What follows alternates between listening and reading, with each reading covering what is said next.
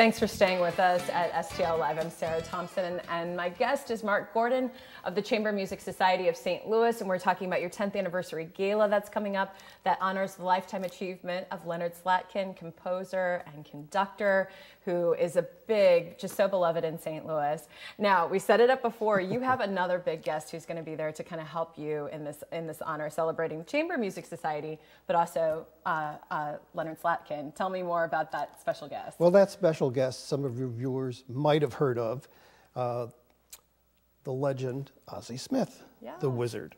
and Ozzie has consented to join us, and he's going to join in the fun. Um, he is, of course, very, very committed to St. Louis mm-hmm. and a great citizen. And to have two icons of St. Mm-hmm. Louis, like Leonard Slatkin and Ozzie Smith, on the same stage on the same night is going to be really something. And we are going to involve Ozzie and some shenanigans at the end of the concert.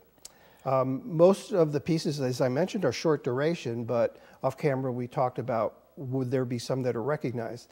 Part of the idea of the program to honor Leonard was not just him, but his family. And as we okay. talked about, there's a lot of family connections with St. Louis. And uh, his wife, Cindy, is a composer. Um, and Cindy wrote a work that she has arranged for us mm. that's based on the folk song Shenandoah, which mm. is this beautiful theme. So that everybody will recognize. And there'll be some tunes that a few other people, they may not recognize the titles, but they'll recognize the pieces. Yeah. No, it sounds, I mean, just a really beautiful evening. And it sounds, again, like you've really put a lot of thought into this and a lot of heart into this. There is a component that sort of ties to some of the other work that you do, and correct me, there's students that are going to be performing, and this is right. really connected to your education program. Can you explain a bit more about that? Sure. Um, we thought part of the reason that we're honoring Leonard is because his commitment to music education. And Leonard founded the St. Louis Symphony Youth Orchestra. And when he went to the National Symphony after he left St. Louis, he worked very hard for music education for the whole country. So we thought it would be very appropriate to have some of our students perform a short Gershwin work that Leonard has consented to conduct. And that will be, give us a chance to show off these kids who are amazing.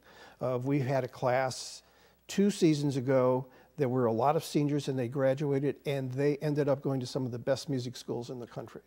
So our approach and the importance we place on the education program is because we face this problem in classical music about aging audiences, and everybody's trying to figure out how do we get younger audiences.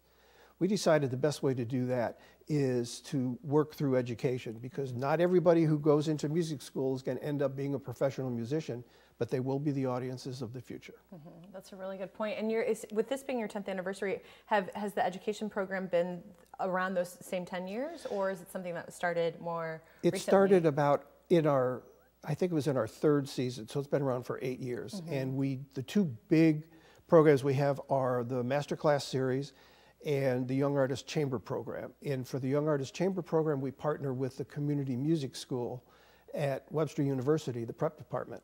And uh, we go in and coach and we support financially, help get them to the contests. And the Masterclass series is a, a series of nine classes on different instruments.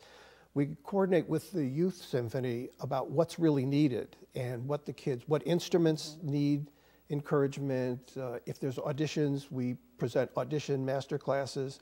And we have, and our programs have over 30 St. Louis area schools participating. So it's a wide reach. That's fantastic. Such good work. It's always great to see you. I just want to kind of sit here and just learn more and more and more, but you've got a busy schedule coming up and good luck with the gala. And for those of you at home, we've got the information there for you on the screen. It's the 10th anniversary gala. The theme and the title is Notes from Hollywood, the sequel. This is, this is taking place Monday, December 10th at 7 p.m. at the Sheldon. And for more information and tickets and all the details, uh, you can go to chambermusicstl.org. All right, thank you again, Marc. Thank you. Thanks, Sarah. Always fun to be here. all right, well, there's more STL Live right after this. Please stay with us.